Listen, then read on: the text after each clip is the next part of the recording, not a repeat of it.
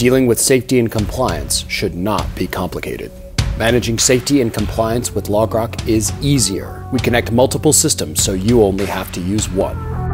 LogRock is faster. We automate tedious tasks so you can use your time more effectively.